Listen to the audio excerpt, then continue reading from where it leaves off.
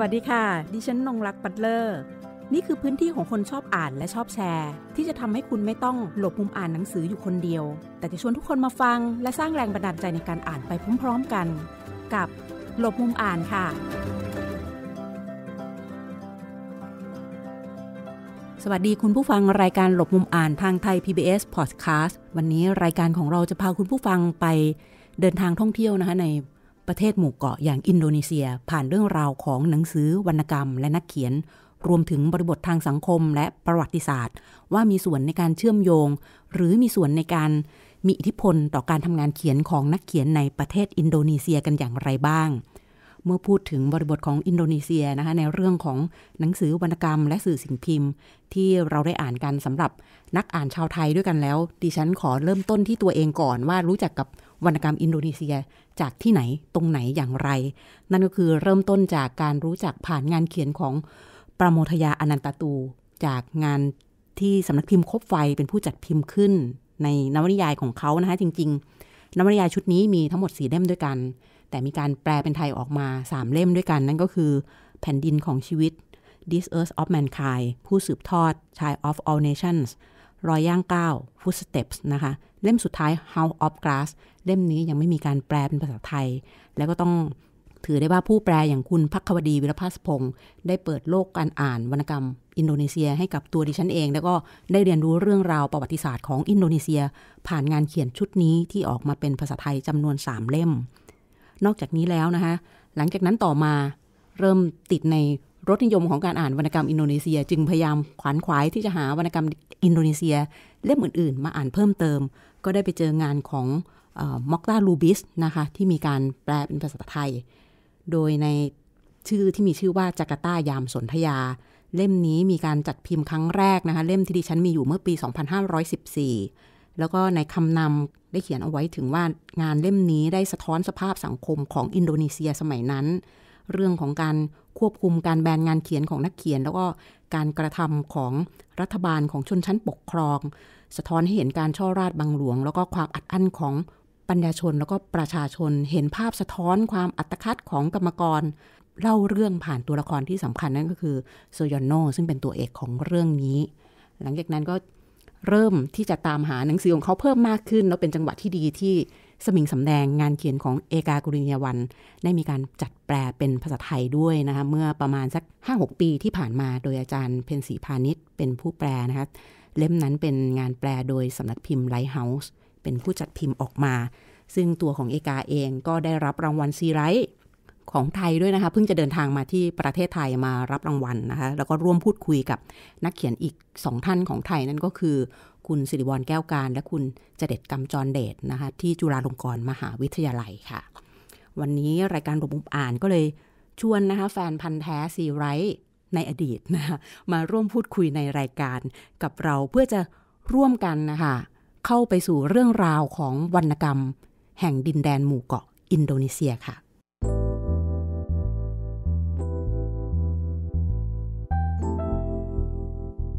คุณอาจจะสิทธิ์เองในมิติการอ่านเรื่องวรรณกรรมของอินโดนีเซียของคุณ มันเริ่มต้นจากตรงไหนอย่างไรบ้างคะถ้าถ้าถามถึงประสบการณ์การอ่านวรรณกรรมอินโดนีเซียเนี่ยนะครับ อาจจะต้องย้อนเอาเป็นว่าถ้าย้อนไปว่าเริ่มทำความรู้จักดินแดนที่เป็นอินโดนีเซียในปัจจุบันยังไงเนี่ยก็คงต้องย้อนไปพูดถึงวรรณคดีเก่าเนาะอย่างเรื่องอีเหนาเนี่ยครับก็คือเดิมทีเราก็รู้จักในในในชื่อคำว่าชวานะฮะ เพราะว่าเราเราอ่านวรรณคดีวรรณคดีไทยเนาะที่ที่เป็นพระราชนิพนธ์ของรัชกาลที่สองนี่นะครับ เราก็จะเห็นว่าอ๋อมันมีดินแดนชวา แล้วก็มีตัวละครชื่ออินหนาวนะมีนางบุษบาอย่างเงี้ยก็ก็ตื่นตาตื่นใจว่าเป็นเรื่องที่แปลกดีใช่ไหมครับแล้วก็มีตำนานความเป็นมาตั้งแต่สมัยกรุงศรีอยุธยาเลยนะครับ ตอนแรกก็ไม่ได้ไม่ได้สนใจอะไรมาก ก็ก็รู้แต่ว่าอ๋อ มันเป็นวรรณควรรณกรรมวรรณคดีไทยนี่แหละ เพียงแต่ว่าไปพูดถึงดินแดนที่ที่แปลกออกไป แล้วก็มาสนใจอีกทีหนึ่งก็ตอนที่รู้สึกจะอ่านระเด็นลำไดแล้วก็มีความเปรียบเปรยว่าเออนางนางประแดะนะว่าแบบคล้ายๆ อูดกะลาป๋าอะไรเงี้ย ทีนี้ก็อาจจะติดใจว่ากะลาป๋าคืออะไรอย่างเงี้ย ก็ไปค้นเพิ่มก็รู้สึกว่า อ๋อกะลาป๋านี่มันคือจาการ์ตาใช่ไหมฮะจาการ์ตาแล้วก็ ก็รู้สึกว่าเอ้ยน่าสนใจฮะจาการ์ตาคือเมืองหลวงของอินโดนีเซียเนาะแล้วก็พอหลังจากนั้นเนี่ยก็ไปเจออีกไปอ่านเอกสารประวัติศาสตร์ก็จะเจอคำว่าปัตตาเวียอะไรเงี้ยที่เรียกเกี่ยวกับอินโดนีเซียเนี่ยผมก็เลยเริ่มหันมาสนใจเเรื่องราวจากอินโดนีเซีย ตอนแรกก็สนใจประวัติศาสตร์ก่อนนะครับ แต่ทีนี้เหตุที่ได้มาอ่านวรรณกรรมอินโดนีเซียจริงๆเนี่ยจะว่าไปตอนตอนผมเข้ามหาวิทยาลัยแล้วล่ะฮะก็คือ มันมันเป็นรสชาติที่แปลก ก่อนหน้านั้นผมอ่านวรรณกรรมของประเทศในยุโรป วรรณกรรมของสหรัฐอเมริกา หรือวรรณกรรมเอเชีย อินเดียเนี่ยผมอ่านมาแล้ว แต่ว่าอินโดนีเซียเนี่ยเป็นอะไรที่อยู่ใกล้ๆบ้านเรา แล้วก็เคยได้ยินมาตั้งแต่เด็กๆอะ่ะแต่ว่าทำไมไม่เคยอ่านเลย แล้วก็ไปเจอหนังสือของปราโมทยานันตาตู อาจจะคล้ายๆ กับพี่หลอด แบบไม่ได้ตั้งใจนะฮะก็คือเจอชุดที่ สารพิมพ์คบไฟแปลมนี่แหละฮะก็พวกเรื่องราวเเขาเรียกจตุรภาคบนเกาะบูรูเนาะแต่ว่าในเมืองไทยมี 3 เล่มนะฮะเป็นอะไรที่แบบโอ้แปลกมาก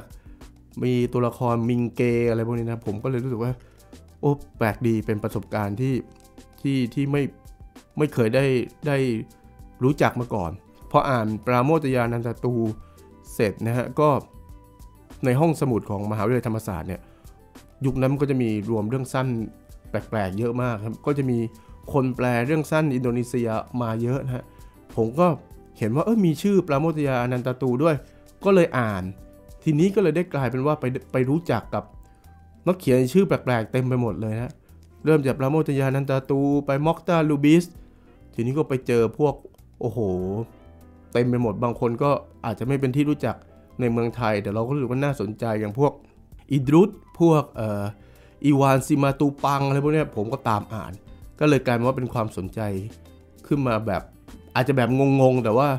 พอรู้ตัวอีกทีก็คือโอ้โหอ่านไปเยอะมากแล้ว แล้วก็รู้สึกมันสนุกอะสนุกแล้วก็มันรู้สึกเหมือนกับเราได้ผจญภัยไปในอินโดนีเซียด้วยนะครับ เรียกได้ว่าเราก็เริ่มต้น แต่ของคุณคลาสเนี่ยย้อนกลับไปในเรื่องของวรรณกรรมวรรณคดีของอินโดนีเซีย แล้วก็ถัดมาเข้าสู่ วรรณกรรมของประมดทยานะคะ ซึ่งนำเสนอเรื่องราว สภาพสังคมของอินโดนีเซีย ภายใต้ตอนที่ตกเป็นอาณานิคม แล้วก็หลังจากที่ตกเป็นอาณานิคมนะคะก็จะมีภาพสะท้อนต่างๆ มีแนวคิดมีอุดมการณ์ซึ่งแฝงอยู่ในเรื่องราวที่ปรากฏเล่าผ่านตัวละครด้วยเล่าผ่านฉากเล่าผ่านบริบทต่างๆ ที่เกิดขึ้น งานของปราโมทยานะคะ จริงๆนักเขียนท่านนี้เนี่ยดังเริ่มต้นมาจากเรื่องสั้นก่อน หนังสืออีกเล่มที่ดิฉันมีนั่นคือ All That Is Gone เป็นรวมเรื่องสั้นทั้งหมดของปราโมทยานะคะ ซึ่งเขาจะนำเสนอเรื่องราวผ่านมุมมองของเด็กนะคะแล้วก็ครอบครัว พ่อแม่ที่ต้องดิ้นรนต่อสู้ ปากกัดตินถีบ แล้วก็เด็กผู้หญิงที่จะต้องแต่งงานออกไป เพื่อที่จะมีครอบครัวเพื่อจะได้นำเงินเนี่ยกลับเข้ามา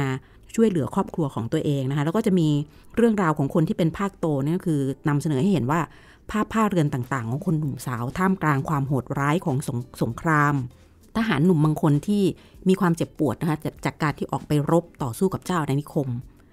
นำเสนอให้เห็นถึงสงครามอาณานิคม แล้วก็ลัทธิคอมมิวนิสต์ที่เกิดขึ้น ผ่านเรื่องสั้นจำนวนหลายเรื่องในเล่มนี้ ซึ่งแม้จะเป็นสงครามและความรุนแรง แต่ชีวิตของมุมมอง แต่ชีวิตและมุมมองของนักเขียน ซึ่งปราโมทยาเฝ้ามองแล้วก็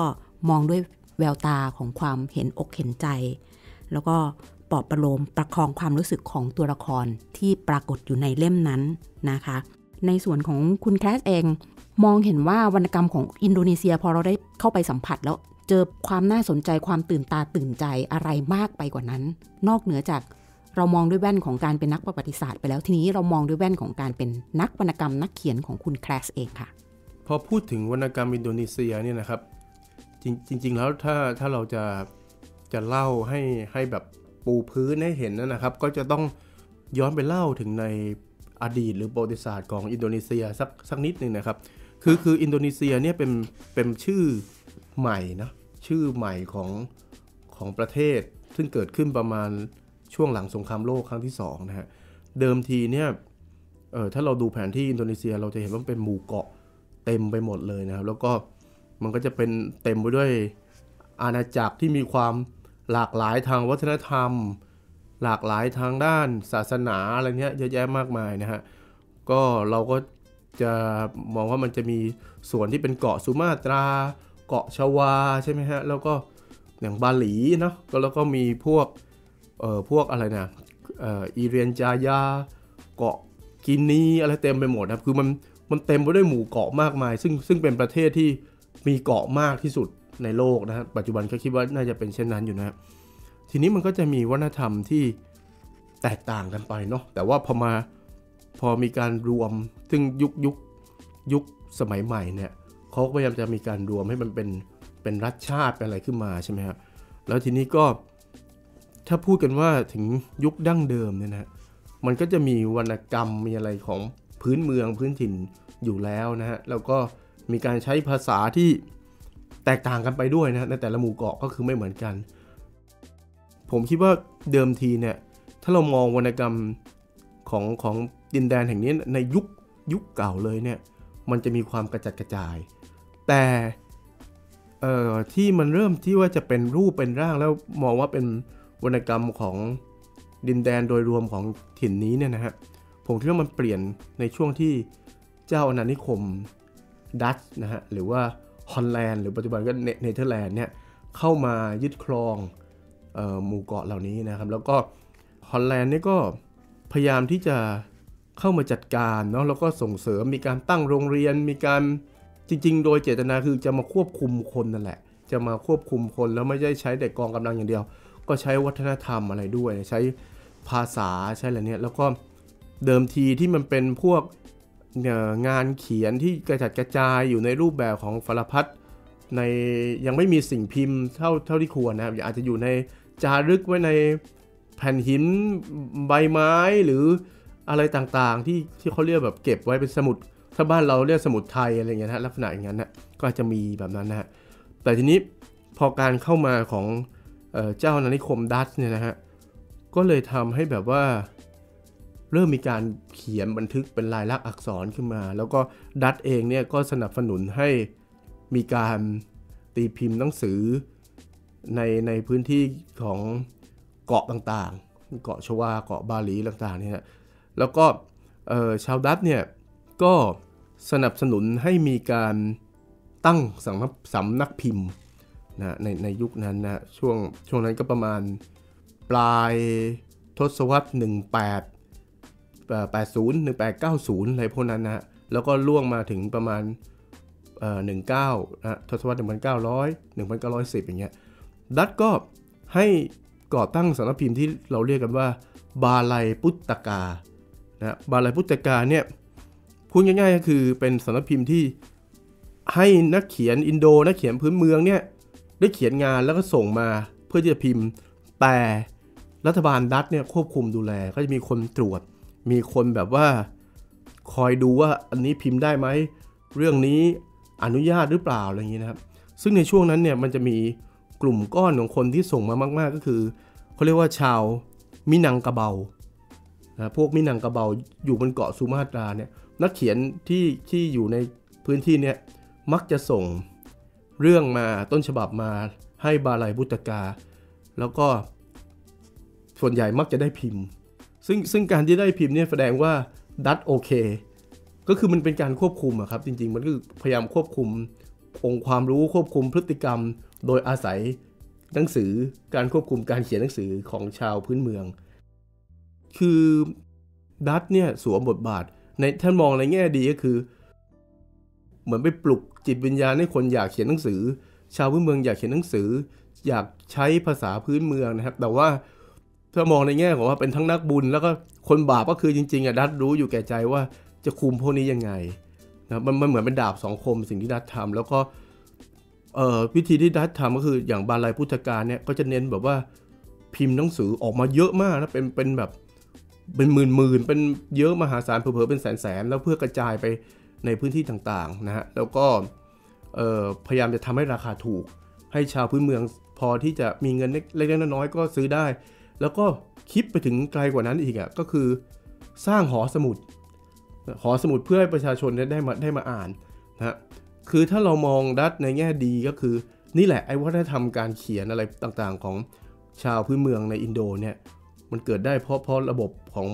บาลัยพุทธกา แต่ว่าถ้ามองในแง่ร้ายคือนี่แหละมันคือความพยายามที่จะคุม แล้วก็สอดแทรกความเป็นเจ้านานิคมเข้าไปในทุกพื้นที่เลยนะครับ เออแต่ทีนี้เนี่ยฮะมันก็การการเกิดขึ้นของบาลัยพุทธกาซึ่งซึ่งปัจจุบันนี้จริง ๆ อาจจะแต่ในสังคมไทยอาจจะไม่คุ้นแต่จริงๆอะมีคนไทยพยายามศึกษาเรื่องนี้เยอะมากนะฮะอย่างอย่างอาจารย์นิธิเอียวศรีวงศ์เนี่ยนะครับตอนทำวิทยาพลปริญญาเอกก็ศึกษาเรื่องนี้โดยเฉพาะเลยแล้วแล้วก็รู้สึกว่ามันเป็นอะไรที่สำคัญมากในแวดวงของวรรณกรรมอินโดนีเซียนะครับแต่ทีนี้ผมก็ไม่แน่ใจว่าดัตเนี่ยคาดคะเนไหมว่า การที่ไปปลุกให้ ชาวพื้นเมืองเนี่ยสนใจการอ่านหนังสือเนี่ยมันจะนำมาซึ่งสิ่งที่ตอนหลังเนี่ยกลายเป็นแบบคือชาวพื้นเมืองใช้การทำหนังสือการเขียนหนังสือเนี่ยเป็นเครื่องมือต่อต้านดัตนะฮะแล้วก็แรก ๆ ดัตก็ปราบ มันจะมีช่วงสำคัญก็คือประมาณ 1920นะเป็นต้นมาจนถึง 1940นะพวกนี้มันก่อนก่อนสงครามโลกอะไรเงี้ยนะมันก็จะมีความเคลื่อนไหวของนักเขียนหลายกลุ่มเลย คราวนี้มันไม่ใช่แค่มินังกระเบาแล้วมันก็เต็มไปหมดมีทั้งแบบ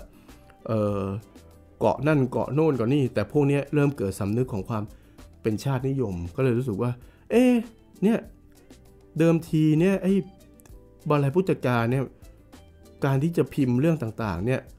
ถ้าสมมุติมีคนเขียนแบบว่าเป็นการต่อสู้กับดัตช์เนี่ยก็จะโดนแบนโดนไม่ให้พิมพ์อะไรเงี้ยกลายเป็นให้พิมพ์ไปพิมพ์เรื่องแบบผจญภัยตื่นเต้น คล้ายๆเชอร์ล็อกโฮม หรือแบบว่าเจ้านานิคมเป็นพระเอกเนี่ยมาต้องเจ้านานิคมมาช่วยชาวพื้นเมืองทำให้ชีวิตดีขึ้น แบบว่าเจอเสือเจออะไรก็เจ้านานิคมมา มายิงปืนเสือหนีไปเลยช่วยผู้หญิงช่วยเด็กเนี่ยคือเจ้านานิคมเป็นฮีโร่แต่ก็มีชาวพื้นเมืองรู้สึกว่าเฮ้ยนี่เริ่มรู้ทันดัตเนี่ยก็เริ่มจะด่าดัตแล้วก็เริ่มเริ่มทำเองละ ทีนี้ก็คงไม่พึ่งพาบาลัยพุทธกา ก็เริ่มที่จะตั้งคล้ายๆสำนักพิมพ์หรือ หน่วยงานของตนเอง แล้วก็ตั้งกลุ่มก้อนต่างๆ มากมายนะฮะที่จะทำสิ่งพิมพ์เพื่อต่อต้านเจ้านานิคม ประกอบกับช่วงนั้นเนี่ยเออมันเป็นกระแสชาตินิยมเรียกร้องเอกราชอะ่ะมันเกิดขึ้นทั่วโลกครับ เราก็เลยจะเห็นภาพของนักเขียนอินโดนีเซียในช่วงนั้นเนี่ยเป็นพวกนักเขียนชาตินิยม แล้วก็เป็นนักเขียนที่พยายามจะมีสำนึกของการเรียกร้องเอกราช เขียนงานต่อต้านดัตนะ ก็ไปพร้อมๆ กับการเคลื่อนไหวทางการเมืองด้วยนะ ก็ชนะบ้างแพ้บ้าง แต่ทีนี้มันมีจุดเปลี่ยนนะก็คือ ตอนแรกก็ตั้งสารพัดกลุ่มเลยมีทั้งพวกแบบว่าซาเรกัตอิสลามซาเรกัตอิสลามนี่ก็คือนักเขียนมุสลิมเนาะเพราะในในอินโดนีเซียก็มีมุสลิมเยอะใช่ไหมแล้วก็มีพวกแบบว่ากลุ่มของนักศึกษาปัญญาชนเนี่ยพวกนี้ก็ทำหนังสือ แต่ก็ยังคือพูดง่ายๆก็คือมีความแมสแต่แมสกันในหมู่ ในหมู่ตัวเองนะครับ แล้วก็ยังทำอะไรดับได้ไม่มาก แต่พอปีประมาณ 1929 เนี่ยนะฮะเออตอนนั้นมันเกิดภาวะวิกฤตเศรษฐกิจโลก ดัตเองก็เอาประเทศตัวเองไม่ค่อยไหวก็อ่อนแอลงอ่อนแอลงเรื่อยๆ พวกนี้ก็เลยถือเป็นโอกาสสำคัญในการที่จะตอบโต้นะแล้วดัตก็เริ่มกลัวมากๆ บอกว่า โอ้โห เนี่ยกลารว่าเหมือนเราไปปลุกไปปลุกวิญญาณ พวกนี้ให้ให้ให้ใช้หนังสือมาสู้กับเราแล้วอย่างเงี้ย ก็จะเกิดแบบว่ากลุ่มก้อนของพวกนักคิดนักเขียนจำนวนมากนะฮะแล้วก็แม้กระทั่งว่ามีผู้หญิงด้วยนะอย่างระเด่นอาเจงคาตินีเนี่ยจริงๆ ก็เป็นบุตรสาวของของชาวอินโดนีเซียที่ระดับสูงที่ช่วยงานดัตช์เนี่ยเธอก็เริ่มเขียนอะเขียนส่งไปถึงดัตช์บอกว่านี่แหละ ชาวอินโดจะไม่จำยอมนะจะต้องเรียกร้องสิทธิ์อะไรอย่างนี้ยนะฮะแล้วก็แม้กระทั่งว่านักเขียนดัตช์เองเนี่ย ก็เริ่มจะเอนเอียงใจมาวิจารณ์ดัตช์ด้วยกันนะก็คือแบบเห็นอกเห็นใจชาวอินโดนีเซียที่โดนเอาเปรียบ โดยเฉพาะเรื่องน้ำตาลเรื่องอะไรใช่ไหมฮะโดนรังแกไม่เป็นธรรมก็ยังมีคนอย่างเอดูอาร์ดดูเวสเดกเกอร์นะแต่เขาใช้เขาใช้นามปากกานี่ก็ใช้แบบมุนตาตุลีเลย คือใช้เพื่อมีความเป็นเป็นพื้นเมืองเนี่ยเขาวิจารณ์ดัตนะแล้วก็เออมีสารพัดพวกตอนนี้ ที่แบบว่าจะมาเคลื่อนไหวแล้วก็เริ่มประกาศคำขวัญว่า เออนี่แหละ พวกเราเนี่ยจะต้องรวมกันเป็นหนึ่งเพื่อเพื่อไม่ปลดแอกจากพวกเจ้านานิคมสักทีอะไรเงี้ยก็ปรากฏว่ามันก็จะมีหลาย ๆ คนนะอย่างเช่น บางชื่อก็อย่างเช่นเออตักดีอลิจจาบานาเนี่ยนี่เป็นเป็นเขาเรียกว่าตัวตัวพ่อแรก ๆ เลยที่แบบเขียนด่าดับเต็มที่นะเป็นนักเขียนนิยายนะครับ แล้วก็มีพวกแบบเอออักเดียสไมฮัจาอะไรพวกเนี้ย ก็เขียนวิจารณ์ อันนี้เป็นลักษณะที่เกิดขึ้นก่อนสงครามโลกครั้งที่สองทีนี้พอพอช่วงหลังสงครามโลกใหม่ๆ ที่ญี่ปุ่นกำลังเริ่มแพ้แล้วแล้วก็ยังไม่ถอนกำลังไปหมดเนี่ยมันก็เกิดนักเขียนหรือกวีคนสำคัญ เขาเรียกกันว่า Generation 45ก็คือพวกที่มันรวมตัวกันประมาณปี 1945 อะไรอย่างเงี้ยนะครับ ก็จะมีคนสำคัญอย่างไคริล อันวาร์ อันนี้ก็เป็นกวีนะ เป็นกวีที่โดดเด่นมากๆ แล้วก็เป็นเป็น activist ด้วย เป็นแกนนำด้วย แล้วก็รู้สึกตอนหลังจะโดนโดนปราบ โดนโดนสังหารอะไรอย่างเงี้นะฮะ แล้วก็จะมีนี่แหละฮะ คนที่ที่พี่หลอดสนใจตอนแรกที่จะเกิดขึ้นมาก็คือ ถือว่าเป็นกลุ่มก้อนกวนนี้เหมือนกันคืออย่างปราโมทยานันตาตู มอกตาลูบิดอีรุตหรือใครหลายคน พวกนี้ก็เขียนจนในที่สุดก็ร่วมต่อสู้จน อินโดนีเซียได้ได้รับเอกราช ช่วงประมาณปีทศวรรษ 1950 ใช่ไหมฮะแรกๆก็เปลมปรีมีความสุขกันเนาะนักเขียนก็เป็นเพื่อนพ้องอะเรียกร้องเอกราชมาด้วยกันเออแต่ทีนี้พอการก้าวขึ้นสู่อำนาจของซูกาโนนะตอนแรกก็เป็นบิดาบิดาแห่งอินโดนีเซียนะฮะตอนนี้เปลี่ยนเปลี่ยนชื่อประเทศเป็นอินโดละรวบรวมเป็นปึกแผ่นนะแรกๆใครๆก็ปลื้มซูกาโนนะ ปราโมทยานันตตูเนี่ยก็ไปทำงานกับซูกาโน่ด้วยเหมือนเป็นหน่วยเป็นนักเขียนเพื่อรัฐบาลนี่แหละซูกาโน่ก็ออกนโยบายต่างๆ ว่าโอ้โหนี่แหละจะให้เสรีภาพทางการเขียน แต่หลังๆเอ๊ะชักแบบเริ่มมีการควบคุมนะใช้เขาเรียกว่าใช้ระบบนาซาคอมโดยโดยโดยอุดมการนี่ก็โอ้โหประชาธิปไตยจะเป็นตัวนำทางอย่างเงี้ยแต่ว่าก็มีแอบแฝงว่าจะต้องคุมคนที่คิดต่างอะไรพวกนี้ขึ้นมาใช่ไหมคนหนึ่งที่ทนไม่ได้ก็คือม็อกตาลูบิสนะ ม็อกตาลูบิสก็ทั้งนักเขียนแล้วก็ผู้สื่อข่าว ใช่เป็นนักหนังสือพิมพ์ด้วยนักหนังสือพิมพ์ใช่ม็อกตาลูบิสก็เลยโจมตีซูกาโน่ฮะทีนี้พอโจมตีซูกาโน่คือคืออันนี้ที่ผมพยายามเล่าคือ จะชี้ให้เห็นว่าเพื่อนสองคนนะปราโมทยา อนันตา ตูร์กับม็อกตาลูบิสเป็นเพื่อนร่วมเปลี่ยนแปลงเอกราชมาด้วยกัน แต่ว่าพอวันหนึ่งปราโมทยา อนันตา ตูร์ได้ดิบได้ดีในสมัยรัฐบาลซูกาโนแต่ม็อกตาลูบิสโจมตีนะโจมตีสารพัดเรื่องซูกาโนมีเมีย แต่งงานครั้งใหม่มีเมียใหม่ก็โจมตีจนในที่สุดม็อกตาลูบิสถูกจับนะฮะไปติดคุกนะฮะแล้วก็เขียนงานในคุกต้องแอบแอบเอาไปพิมพ์ในอังกฤษเพราะพิมพ์ในอินโดนีเซียไม่ได้ ก็ก็ม็อกตาลูบิสก็แค้นแค้นใจปราโมทยามาบอกโอ้โหเนี่ยกลายไปเป็นพวกรับใช้ซูกาโนไปแล้ว ก็เกิดจุดเปลี่ยนนี่ฮะทีนี้จุดเปลี่ยนก็คือ พอช่วงปลายทศวรรษ 1960 นะ ซูกาโนหมดหมดอำนาจสูญสิ้นจากอำนาจ แล้วก็คนก็เอื้อมซูกาโนเต็มที ก็มีดาวรุ่งคนใหม่ แล้วก็เป็นขวัญใจใครหลายคนในช่วงนั้น เพราะว่าเป็นนายทหารที่เนี่ยความหวังใหม่ปรากฏ ก็ยึดอำนาจแล้วก้าวขึ้นมาก็คือซูฮาโตซูฮาโต้ก้าวขึ้นมาเนี่ยนักเขียนที่ไม่ชอบซูกาโนก็เชียร์ซูฮาโต้ใหญ่เลยม็อกตาลูบิสก็ได้ออกมาจากคุกใช่ไหมแต่กลายเป็นว่า ปราโมทยาอนันตา ตูร์โดนจับใช่ไหมแล้วก็พอปราโมทยาอนันตา ตูร์เนี่ยก็วิจารณ์ซูฮาโต้นะม็อกตาลูบิสก็เลยมาเศร้าใจตอนหลังว่าโอ้เนี่ยดูสิพอปราโมทยาไปอยู่ในคุกอะฮะซึ่งก็เนี่ยที่อยู่ไปไปอยู่คุกเกาะบูรูเนาะก็โดนรังแกหนักหน่วงในยุคซูฮาโต้อย่างเงี้ยนะครับแล้วก็แล้วก็ก็เลยเออแบบโอ้เนี่ยปราโมทยาโดนโดนหนักมากอย่างที่เรารับรู้กันว่าโดนตีด้วยพานท้ายปืนจนหูหูไม่ดีอะไรเงี้ย ตรงกระซิบเล่าไม่ให้เขียนหนังสือเนี่ย อันนี้ก็คือจะเป็นยุคใหม่ละที่ที่แบบว่านักเขียนก็รวมตัวกันต่อต้านซูฮาโตแล้วความที่ซูฮาโตนี่อยู่มายาวนานมากครับพี่หลอดเป็น 30 ประมาณ 30 ปีเนาะแล้วก็ช่วงนี้ไอ้ความเคลื่อนไหวแล้วเขายุคนี้เขาจะเรียกว่ามัน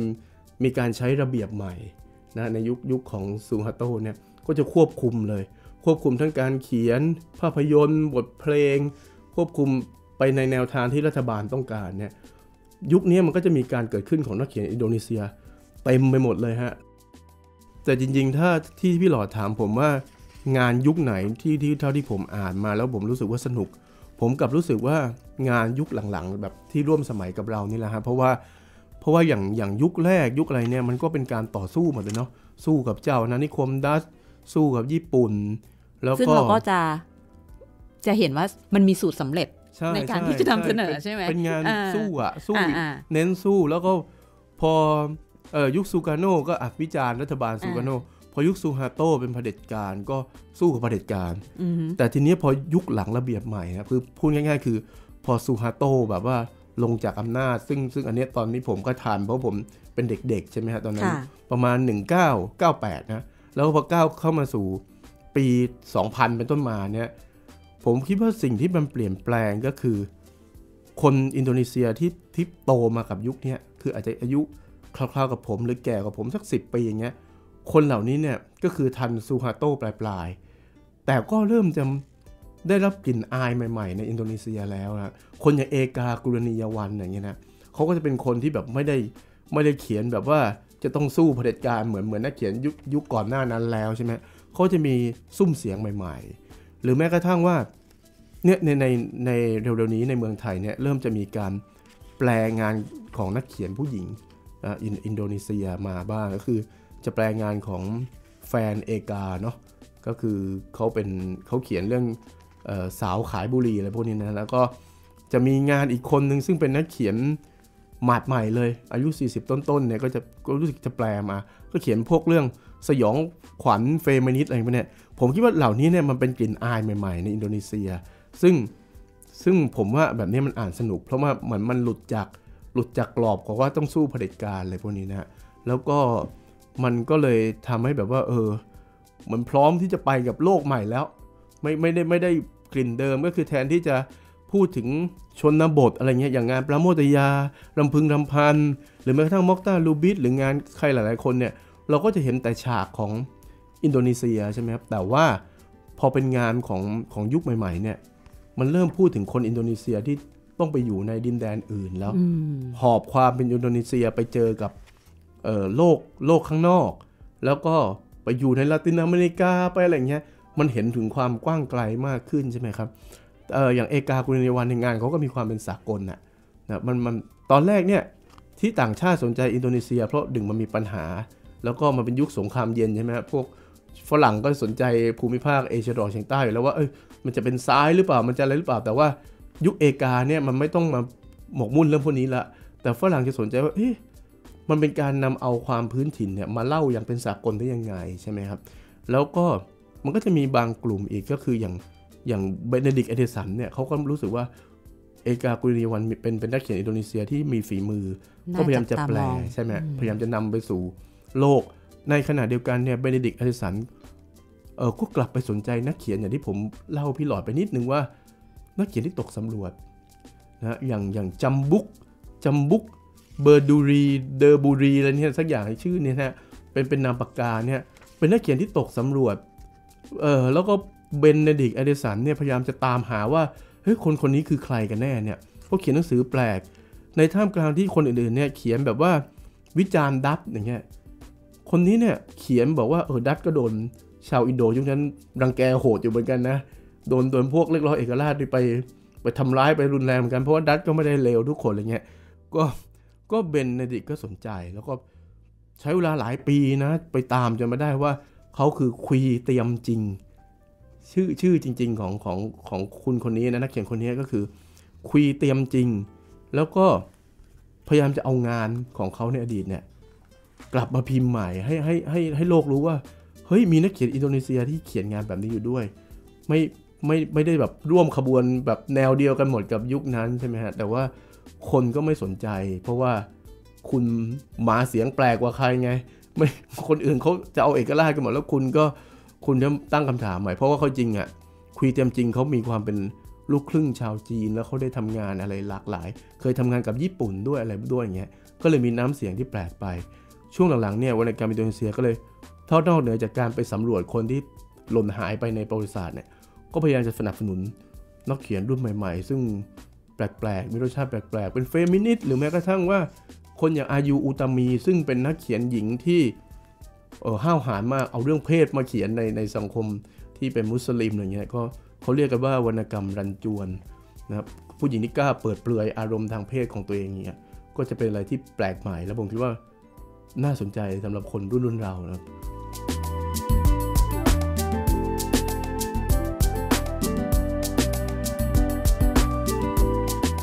ค่ะโดยในวันนี้นะคะ หลบมุมอ่านก็ได้พากันร่วมสำรวจเดินทางไปดินแดน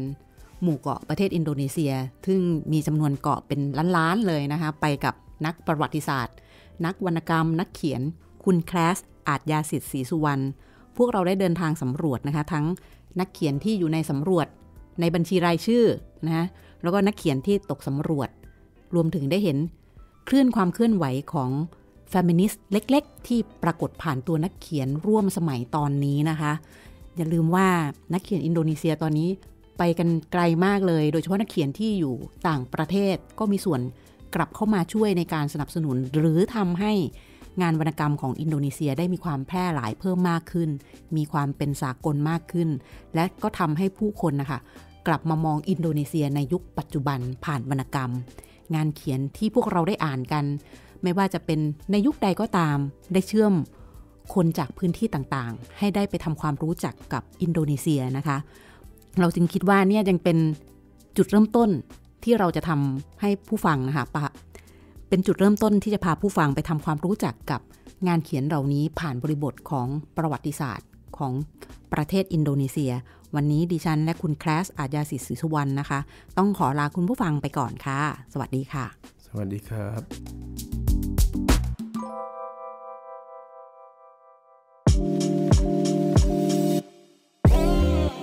ามข่าวสารและความเคลื่อนไหวของไทย PBS Podcast ได้ทาง Facebook, YouTube, Instagram และ Twitter เพียงเซิร์ชคำว่าไทย PBS Podcast